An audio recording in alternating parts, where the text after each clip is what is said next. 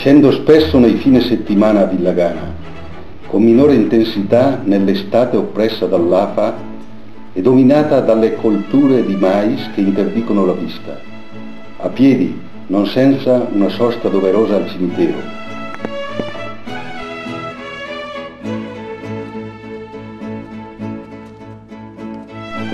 È il silenzio dei luoghi che mi attira, la possibilità di immergermi nella natura, di godere paesaggi mutevoli ad ogni stagione.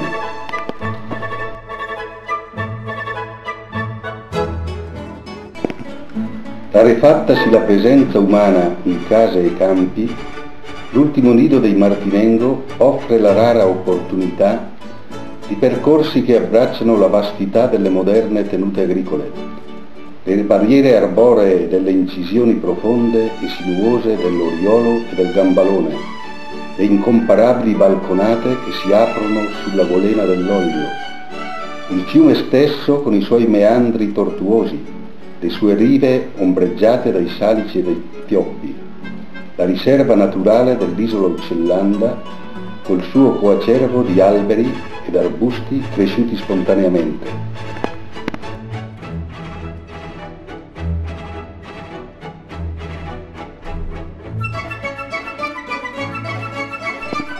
Colori, atmosfere e sensazioni che si rinnovano nell'inarrestabile incalzare dei cicli annuali. Si tratti della spoglia nudità invernale col sole radente che non riscalda il sonno profondo della natura, o del risveglio fiorito della primavera, oppure del verde fulgore estivo, come della magniloquente tavolozza autunnale Villa Gana riesce comunque a sintonizzarsi e a conciliarsi con i sensi e con lo spirito.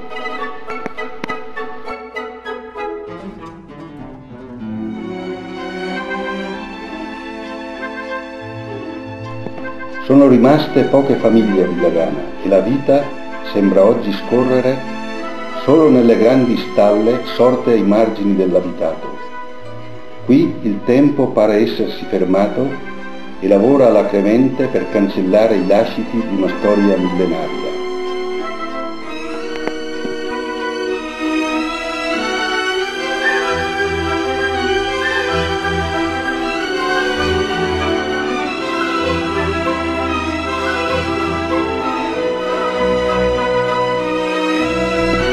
La calma di un vascello abbandonato, focolari spenti e colori che si svialiscono sotto l'azione della pioggia, la malinconia delle case vuote, in parte scalfita dall'animazione del ristorante insediato nel palazzo, pervadono l'atmosfera del piccolo borgo. Solo il rombo dei trattori, delle motociclette e delle rare automobili in transito disturba ogni tanto la tranquillità delle strade.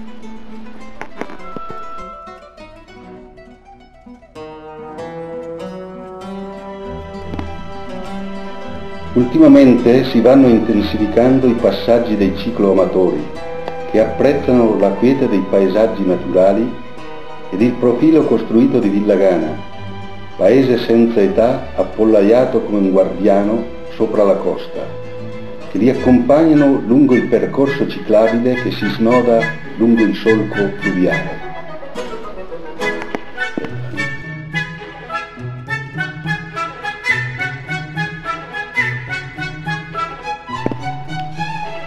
Villa Gana ogni cosa emana il sapore della storia, un lungo racconto che inizia e finisce all'ombra delle torri di Palazzo Martinengo.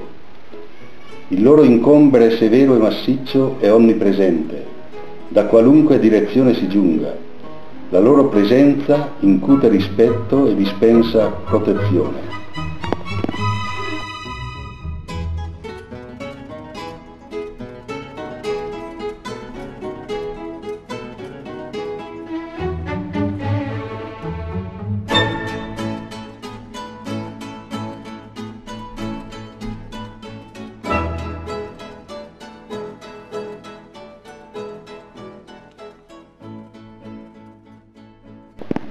Villa Gana, culla del cristianesimo locale, venuto dal Cremonese attraverso l'Oglio, ricordato dalle sue cappelle scomparse, ribadita da una sorta di pellegrinaggio che partendo dalla Mater Amabilis dell'oratorio privato di San Vittore e dall'Immacolata Concezione al culmine della salita, si svolge verso sera toccando la santella della Mater Salvatoris ed il santuario della Beata Vergine del Rino, per concludersi all'ombra degli ippocastani dei morti di San Pietro.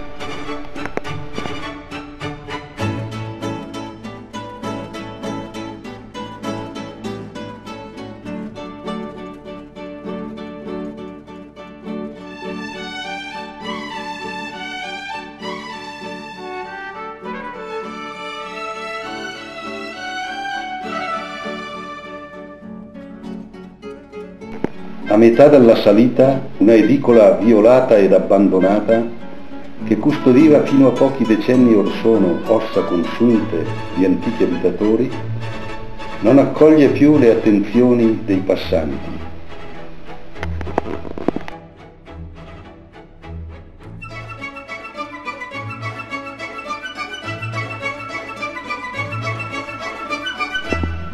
Il leone alato di San Marco vigila da quasi 500 anni su un confine che non c'è più, muto testimone del lungo dominio della Serenissima.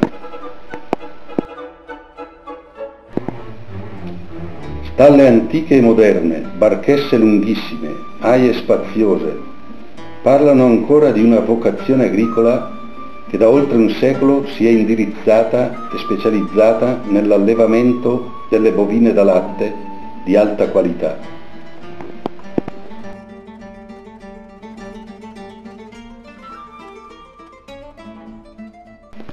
Nell'accavallarsi disordinato di suggestioni visive e di storiche rimembranze che in Villa Gana si concentrano, è piacevole ascoltare i rintocchi delle campane di Azzanello, che, portati dal vento, si riverberano sulla riva sinistra del fiume. Essi evocano l'altra sponda, altri valori, altri linguaggi, altre storie e di piccoli commerci che il porto di Villagana rendeva fino ad un tempo non lontano familiari, a dispetto delle rivalità e dei confini politici ed amministrativi rappresentati dall'olio.